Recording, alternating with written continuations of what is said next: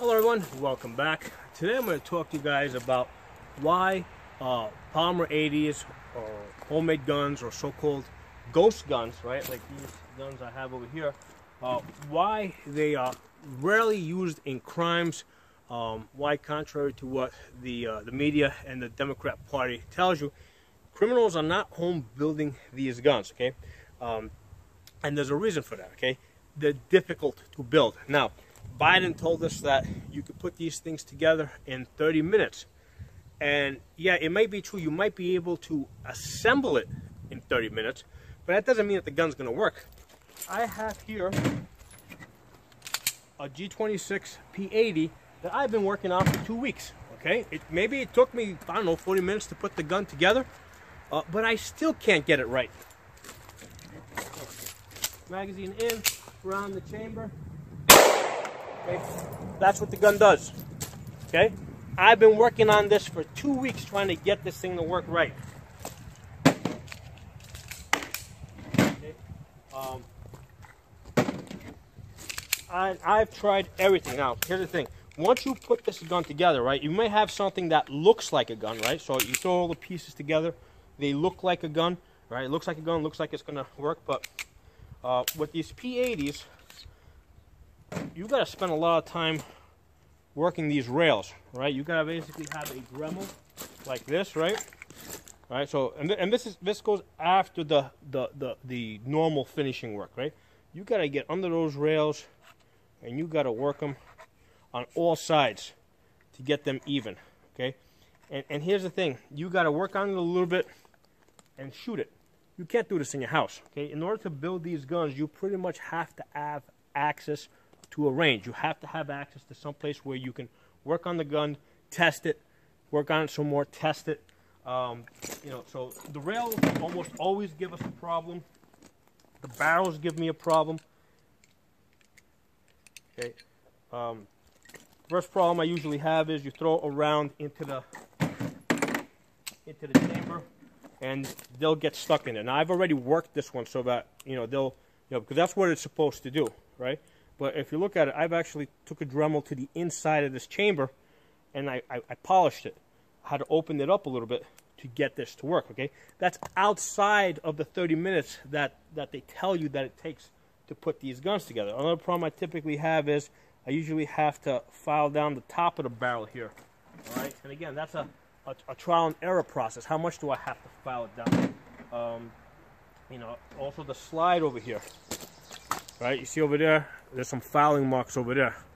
I had to file down the inside of this uh, slide where the barrel and the slide lock up.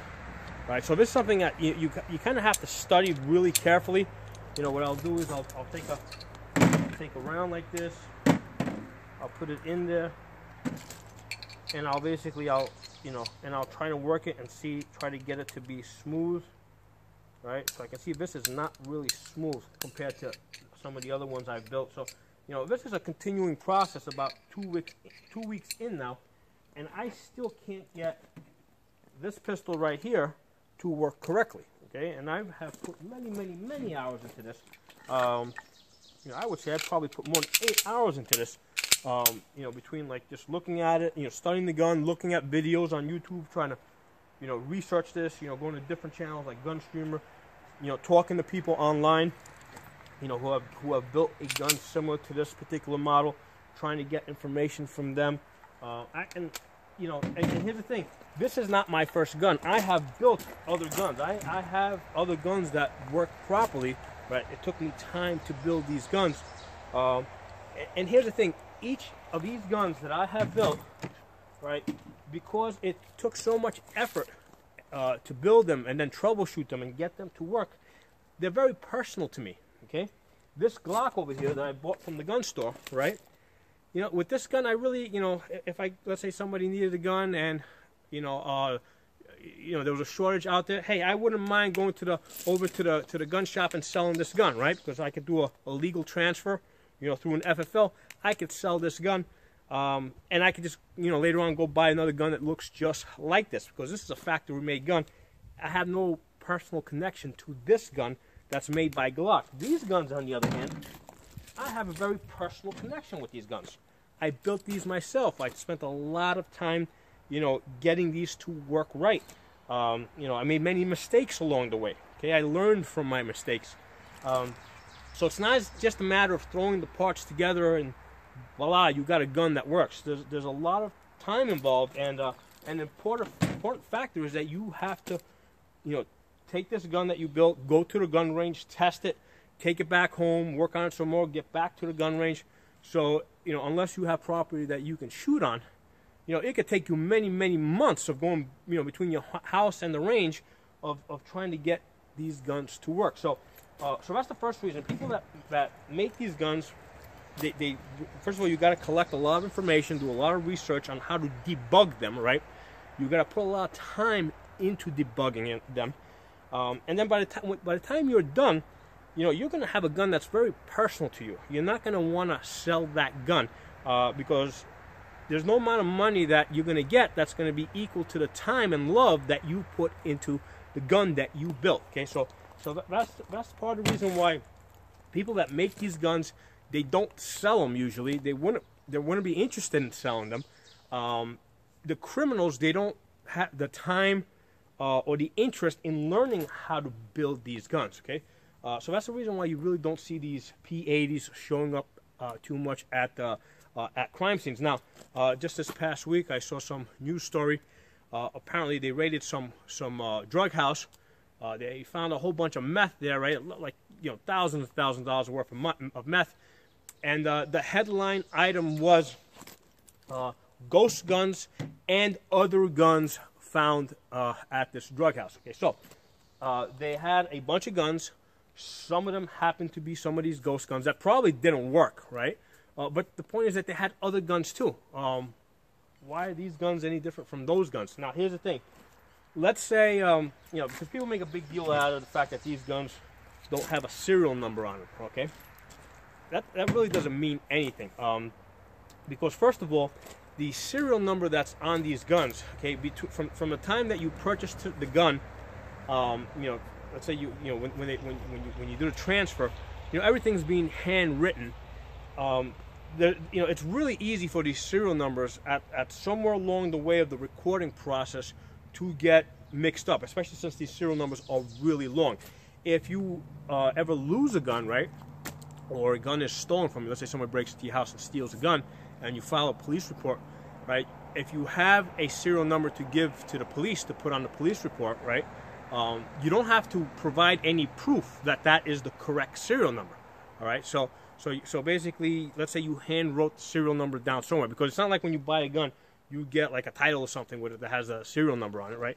Um, you know, you basically you just look at look at the gun, you write down the serial number on a piece of paper, right? Because that's what I do with all my, my factory guns. I just have a, a book where I write down my serial numbers um, by hand. And if, if the gun were to ever be stolen, you know, I would basically go to my book, look at this serial number that I hand wrote, um, and then give it to the police, right? So there's a lot of places where you can that, where a mistake can be made there. You know, I might have made a mistake when I first put the serial number into my book. Uh, when I gave it to the officer, I may have made a mistake in giving them. The officer might have made a mistake in writing it down. When he goes back to do his data entry, there might be a mistake made at that point. So there's many steps along the way where a uh, uh, where a mistake can be made, and, and that's one of the reasons why uh, um, you know I, I don't think that you know I, I generally don't tell people if you're ever involved in a traffic stop, don't volunteer any information that you don't need to tell. Don't tell the police that you have a gun in the car unless you're required to by your state, unless you have a duty to inform. Because the reason is they may want to run the serial number on your gun. And here's the thing somebody might have made a mistake when they reported their gun lost or stolen and accidentally gave them the serial number that's on your gun. Okay, so this whole serial number and trying to trace guns uh, is extremely inaccurate. Now, beyond that, right? So here I have a factory Glock and it's got the serial number in three places. Now, normally they only need to put it on the frame right here, but on this Glock, actually went a step further. They put it on the slide um, and they put it on the barrel too. Okay, normally it doesn't have it on the slide in the barrel, but Glock went that extra step. They got it in three places. So, let's say I let's say I was a criminal, right? Hypothetical situation. I am a criminal, and I'm looking to illegally sell this gun to another criminal. Okay, um, let's say I'm you know I did a straw purchase, whatever. So, why would I? If I'm you know first of all, if I'm if I have the intention of doing something illegal why wouldn't I go a step further and, you know, cover my tracks? All I would have to do is take this Dremel that I have, because obviously I'm building guns, so I'm going to have a simple tool like this, right? And with this tool right here, I can scratch off the serial number from, from, from the frame, where it usually is, but I can also take it off the slide and the barrel and any other place where I can put it. Obviously the serial number is going to be big and, and, and, and legible, right? Because people have to be able to see it. So it's not like they're going to put a serial number on the gun in such a way that uh, people can't see it, right? Um, so it's really easy to scratch off the serial number. And, and by taking the, serial, the serial number off this gun, um, yeah, of course, you know, doing so, removing the serial number from a gun um, is against the law. But hey, you're doing something illegal anyway. You know, you know, why, you know if, you, are willing to do the first thing illegal, why wouldn't you do the second thing illegal? Um, so it's really easy to get the serial number off this gun. And once the serial number comes off this factory gun, this gun is no more traceable than this gun, or that gun, or that gun, or that gun, okay? Um, so this whole thing with ghost guns, no serial numbers, is, is meaningless, okay? It means nothing because you can easily scratch the serial no number off of any gun. And uh, for that matter, the this whole the, the, the tracking system um, is not that uh, foolproof anyway. In fact, from what I heard, 50% um, uh, of gun trace requests, uh, you know, hit a dead end. All right. So when police do a gun trace, right, where they try to, you know, when you know, let's say a, a, a gun shows up at a crime scene, right, and they have a gun, and they try to trace it through the serial numbers.